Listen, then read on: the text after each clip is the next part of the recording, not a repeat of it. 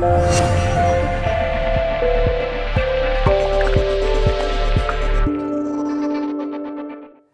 I'm Angel Ribo with Mindalia TV, and we have we have here today Sujon. Hi, Sujon. How are you? Good. How about you? Very well, thank you. It's great to have you here. Thanks for having me. So, first question for starting our conversation today is, you know, what is that thing that you are the most passionate about?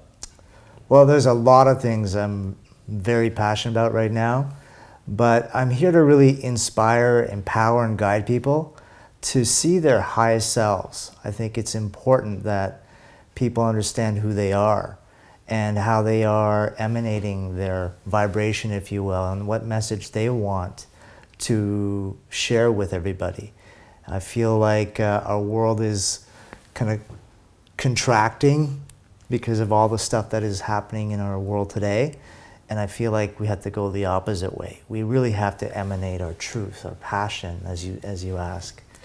All the people that is being empowered by you, do they have something in common?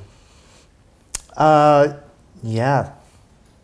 Separation, lack of confidence, lack of understanding about what they truly want.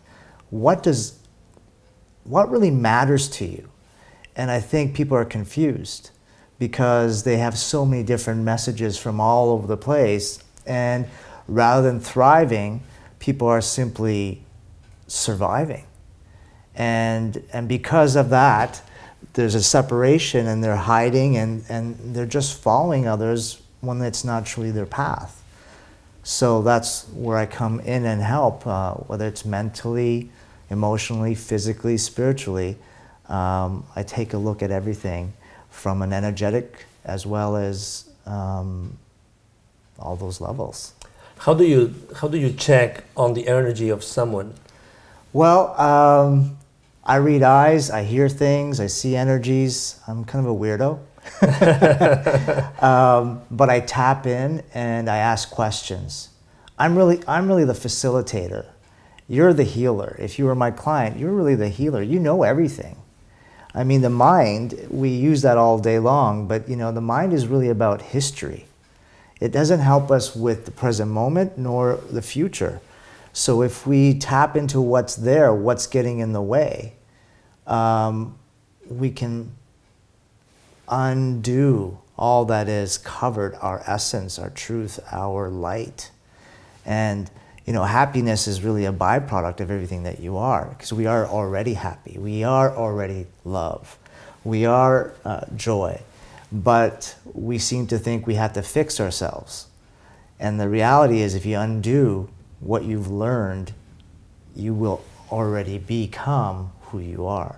And that's, that's through awareness, it's through acceptance, it's through compassion, it's through, you know, there's so many ways to be healed. But you mentioned un unlearn.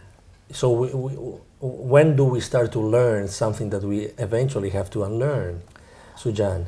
I think the moment we're born you know, sure, our, our mental capacity doesn't develop until, you know, well into seven or eight years old, but emotionally we're, we're gathering information and all these energies. I mean, everything is energy.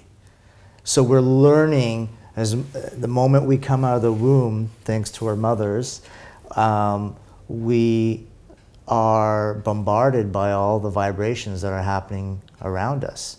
Um, so the first seven years is when our emotional body is maturing, and that's what we deal with for most of our lives. And then from seven to 14, give or take, is our mental.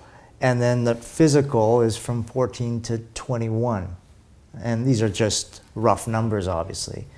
So uh, we're taking on so much information all the time, and especially in today's world, we're bombarded with so many vibrations and energies, and that's the learning. Uh, learning from our parents, then learning from our schools, our society, um, and then we have to follow all these codes called government and whatnot. So it's a constant uh, process, and it starts, in my opinion, from day one. Is there anything that we can do? Because you mentioned that you see things you hear things. Is that something that everybody can can do? I think we're all equal. I think we all have that capacity. It, we just have to understand again who we are and learn about how we can use our intuition, our vibration, our, you know, uh, as I told you, I'm related to Paramahansa Yogananda, who's the father of yoga in the West. And, uh, you know, what did he bring? He brought meditation and yoga, 1920 into the Americas. And, uh, you know, he's revered by many. But what I've learned is that if you meditate, if you really take a pause out of life and reflect and become one with this unified field, if you, if you want to call it, the all knowing transcendent or God, whatever you choose to call it, you will get a lot of information that you require to actually travel. And how do you help people to reach that point, Sujon? Um, it's it's important to really become intuitive or or use my gifts to help you understand what you require. The name of the game is really awareness. And once you become aware, you become conscious of your patterns, etc. And and asking the right questions so that, of yourself and reflecting on where your life is. What's working? What's not working? Do we ever ask those questions? No, we're too tied into our daytimer or whatever, you know, that's old school. But our phones and where we have to be, and, and is it really taking you to the place that you really want to go to? I think we're, that's where the confusion happens. We, you know, life is about love. Life is about experience. Life is about expansion. Is what you is the are the things that you're doing really helping you expand? And you know, we're so caught up in material things and trying to be part of a tribe or a community that we lose ourselves because we're following somebody else's lead. So what I do is to help you really understand where you are at this present moment and is it going to really take you to where you really want to go. Let's go a little bit back to your family. Sure. Does anybody else in your family have these gifts, these abilities to to see beyond? Um, my sister is uh, pretty powerful in her. She's more psychic than I am. Uh, I'm more about intuition and present moment, and she sees things. Uh, she lives in Mumbai. Um, she's also she, she's a healer as well, but she doesn't practice, if you will. I'm probably the only one in the family right now that's actually going out there and uh, trying to help people see themselves. Do you, when, when your family, when you, you know, when you gather, do you talk about, you know, Yogananda? Do you talk, do you talk about him? Uh, absolutely. I mean, I've been truly blessed in my life. Not only on my on my dad's side, my dad passed away a few years ago, but uh, my dad's grandmother was Roma. Roma is the eldest sister to Yogananda. But uh, when he was alive, of course, we talked about him a lot. And then on my mother's side, there was a, another guru named Mohananda Brahmachari. You know, it's a lot of, a lot of words. Um, I was blessed to have him in my life. I mean,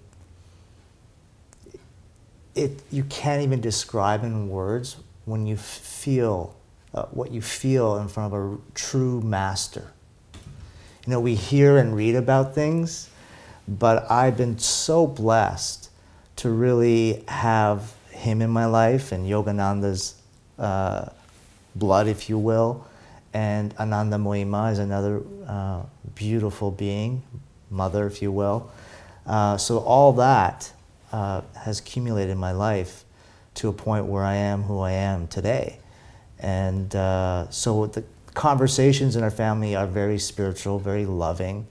Um, I come from an Indian family, obviously, and, and a lot of Indian families want their kids to be a doctor, lawyer, a professional. And that was where I was headed. I was in a corporate environment um, for many years, and then Yogananda showed up in a vision. You know, when you're in a half awake, half sleep state, well, I was in that space and Yogananda showed up as a, a being, that to me was very real. It's almost I could touch him. And what he did was he said, Come to me, come to me, come to me. Three times. And that spooked me. Six months later, to make the story really short, I quit my job and I moved to Los Angeles from Toronto in search of what come to me meant. And after uh, losing everything, you know, when people say hitting the dark night of the soul, well, it took, took me to go through that experience to understand who I am and what I'm here to do. And uh, for the last 15 years, I am, you know, helping people to realize what, what life is about and trying to help people open their hearts to themselves. That's what we lack. Really follow who you are and what your being is, is here to be. Could you share with us some anecdotes that you have had with maybe some of your of some of the people that you have empowered throughout those last 15 years? Wow, that's uh, antidotes. Well, bottom line, I, I think I said this earlier, it's about awareness. It's about accepting who you are. It's about, you know, people talk about love, but I don't think people really understand what love is. If you can describe in words what love is, then you're, you're not in love. You don't know what love is. I think love is synonymous with what we call God or the highest vibration. It, it, it's, it can't be described. But it's very important for people to understand that if they truly care about who they are, they will receive more of that from the outer world. So if you want love, then be loving. If you want compassion, be compassionate. Whatever it is that you want, become. And, and, that way you can start moving in the direction that you truly want to live. And I, I think that is one big deal. And you know, in, in my practice, I talk about what's your focus, what's getting in the way, and the third prong would be energy. What energy are you emanating? So I come in and help people raise their vibration from a divine space. I'm nothing. I'm no one. I am no thing. I, I really feel I'm just simply a conduit. And uh, I just want to love. And I'm still searching what love really is, but I try to be, as a human being, the best emanation of that love. So the tools that I help people with is to to find what that love is for them within them. And that's a start. I mean, I've helped, uh, you know, you can't help but being in Los Angeles working with all kinds of people, and, and I'm so grateful for that. Um, from homeless to celebrities and everything, everyone in between has given me really the patterns in people. And there aren't that many. It's really about understanding, because everybody has a story, right? And we keep telling these stories over and over and over, and we become those stories, and we can't see beyond the story. So we're, we are so attached to that story that um, we don't understand who we are. We've lost ourselves because we're so much more than our stories. It's about the gems See, if we can release the story emotionally, then we can discover the gems that are in the story, and that becomes your wisdom. And if you take that wisdom with you and carry it everywhere, you will feel that your vibration is rising to wherever you need to be. Because it's not about everybody being in the one vibration, it's about honoring all vibrations. If we really want oneness, then we have to honor good, bad, ugly. You know, whether we talk about, you know, a bad person, I don't want to name names, but a bad person versus a good person, that's judgment. Because if we don't have that contrast, how do we really learn? How do we really grow? Right? Because the seed comes from where? it's put into the darkness, into the soil, right? Absolutely.